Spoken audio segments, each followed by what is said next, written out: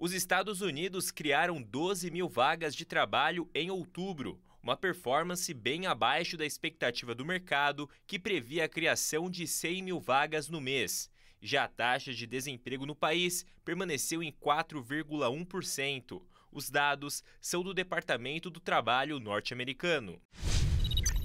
As chuvas regulares e as temperaturas mais amenas registradas no mês passado no cinturão citrícola do estado de São Paulo e Triângulo Mineiro têm colaborado para aliviar a situação dos pomares da região com a maior produção de laranja destinada à indústria de suco. Segundo pesquisadores do CPEA, as condições climáticas favorecem uma melhora na qualidade das frutas da safra 24-25, o que pode contribuir com a recuperação da oferta.